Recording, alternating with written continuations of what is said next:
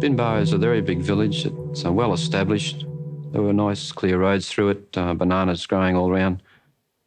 The uh, huts are uh, not just your average little tin huts, they were well established. It was uh, something like 50 or 60 houses in the, the village itself. It was a French rubber plantation village. Everyone lived in little brick cottages laid out on a formal grid pattern, totally different to what you would expect for a South Vietnamese village. There was a lovely big airstrip uh, in the middle of the rubber plantation. The plantation managers lived in lovely big 1930s style houses with white plastered walls outside, and uh, they had it good. Um, but of course, that village, because it was the, the centre of economic activity in the northern part of the province, attracted a lot of Viet Cong influence, and they particularly uh, used to come and, and tax people and uh, collect rice and, and other things that they needed. After the coordinates, the first coordinate search there, I've been uh, um, Charlie Company stayed there um, astride the old airstrip that was there just out to the, not actually inside the village, but just adjacent to the village. And we patrolled uh, mainly out to the north and to the west um, of Binh Ba village to provide security to it. The, the thing about coordinate search operations, that's why um, uh, it's, it's, very difficult. You'll get in there and get an immediate result, but unless you stay there and provide a continuing presence, people from the other side are going to come back in there. And that's why a village like Hoa Long was done so many times. And uh, later on, I mean, we spent a lot of time at Binh Ba, and that was, I think that was, we did that probably twice when we were there. But then when 5RAR returned on its next trip to Vietnam, about 18 months later, two years later, they had the major battle at Binh Ba, same place, where we'd, we'd lived for several times. So unless you provided that continuing presence, it was, you, you could never say that once been in there, you've done a coordinate search, you've captured these people or these sympathisers, whatever, and two weeks later it can be back to where it was.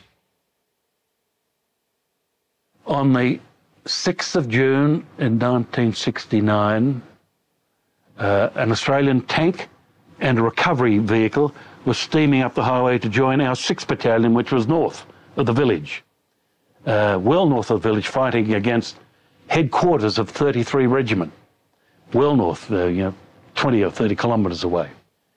Uh, and they passed through at, uh, at 8 o'clock in the morning through the village of Binh Ba, and all of a sudden some idiot of a North Vietnamese soldier fired an RPG rocket and hit our tank. Now, the big question is, and I ask it all the time, why did this happen? They knew the minute they fired something they were going to be hit back. I believe it was ill discipline on the part of a soldier who saw this wonderful target just passing past the house, so he fires an RPG and hits the tank.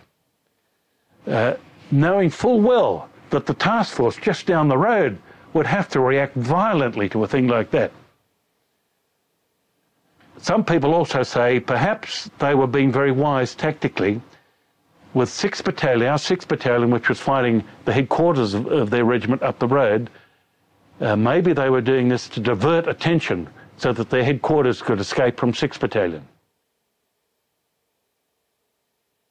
Well, I first heard about Binh Ba when the troop was uh, on ready reaction duty uh, at Nui Dat, and we were told that uh, some fighting had broken out up the road.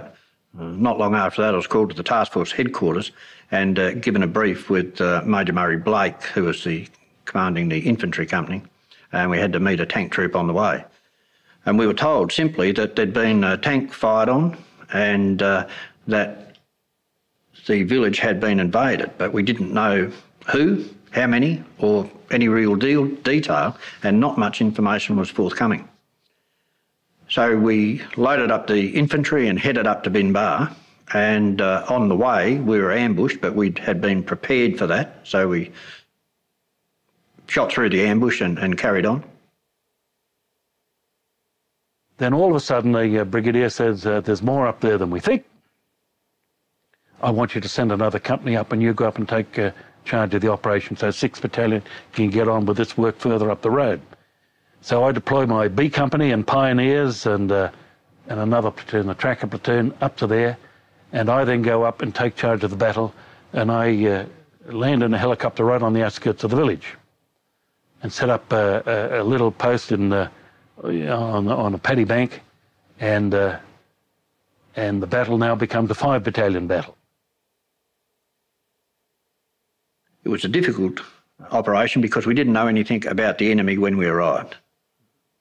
We moved in under extremely heavy fire, and I had been informed there were probably uh, civilians in the village.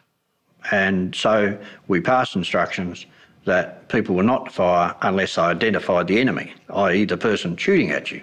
Now, that's a big ask in a situation like that, uh, particularly when there's a lot of firing going on. We also moved in with the infantry mounted because it would have been extremely risky with a very small company that was available to go dismounted. Um, that further uh, amplified the risk to us and again called for very good judgment at every level. Uh, command and control uh, was difficult. Trying to uh, maintain contact uh, with each section and uh, each soldier was extremely difficult. Keeping a straight line so we wouldn't uh, get too far, far, ahead of one another was another problem. And because we were mixed up with a highly populated area uh, and, and uh, well constructed houses, we often got out of sight of one another. The infantry had the hard job when we got in the village. Basically, we got in and, and fired upon uh, the huts where we were being shot at from. And we moved further through the village. The infantry dismounted and actually went in and cleared these houses uh, hand to hand, one at a time. And there's a lot of bunkers in there, and there's a lot of people, and it was a very dirty job to get in and uh, find exactly where they were hiding. It was it was house to house fighting. We we we had to get inside the house. We had to search the house um, from top to bottom, and uh, to do that we we split up into uh, two or three man teams, and each team would look after uh, um, his allocated area or house or houses. We'd lined up in a, a battle formation and commenced the assault. Uh, we'd only just commenced and uh, there were six enemy soldiers entrenched in one house.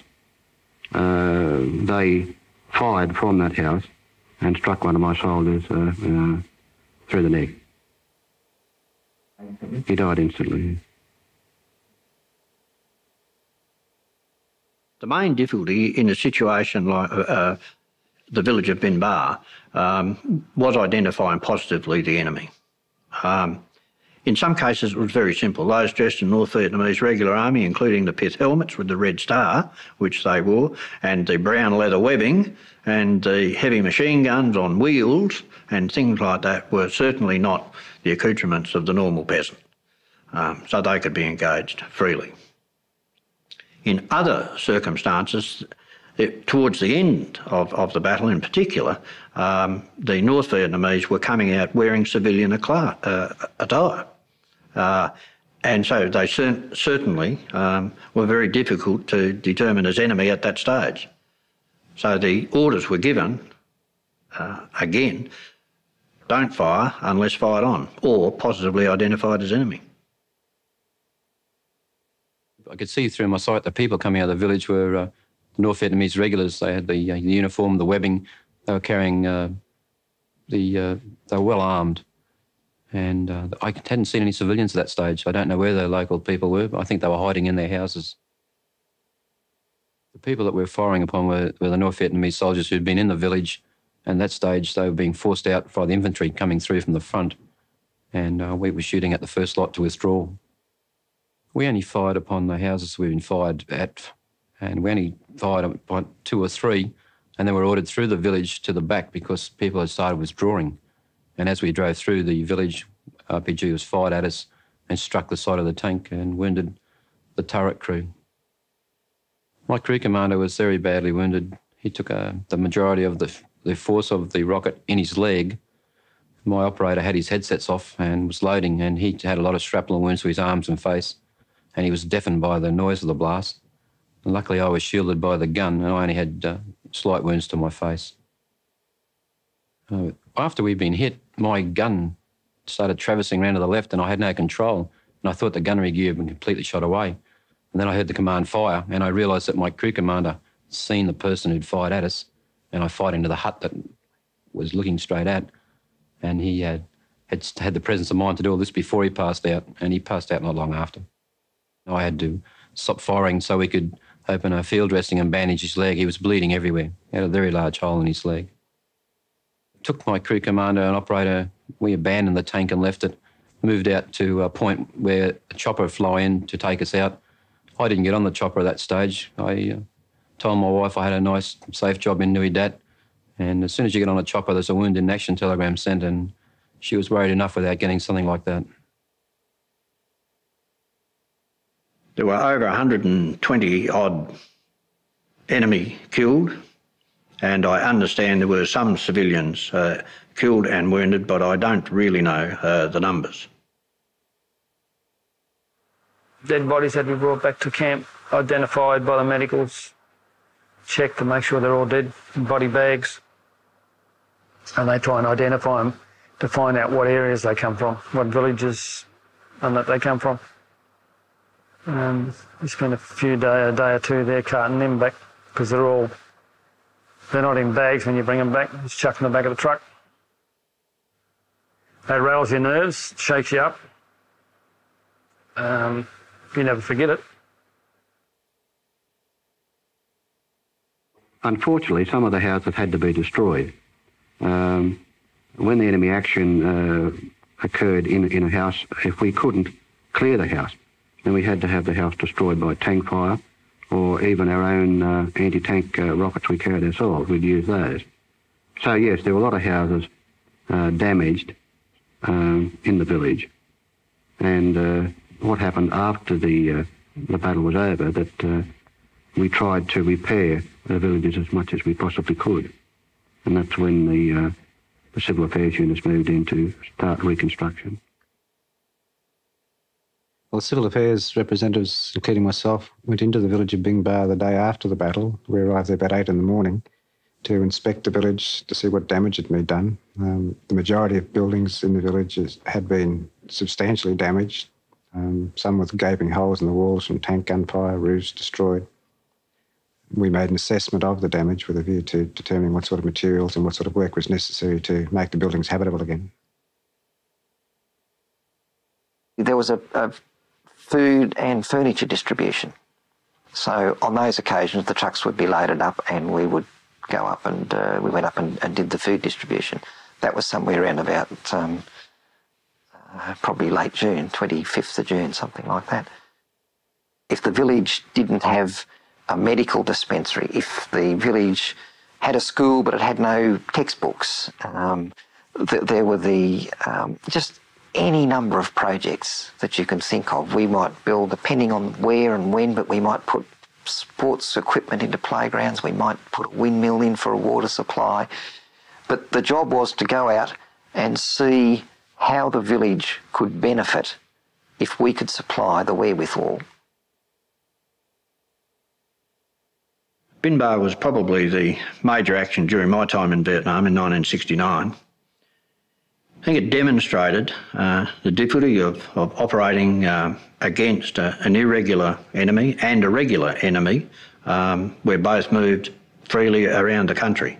It also demonstrated the difficulty in identifying uh, enemy from, from friendly people or innocent civilians. It was important too because the North Vietnamese had moved into there and stated they were going to stay there for three days and the Australians would not be able to move them. So it was a direct challenge to the Australian authority in the area and the first challenge since the Battle of Long Tan in 1966.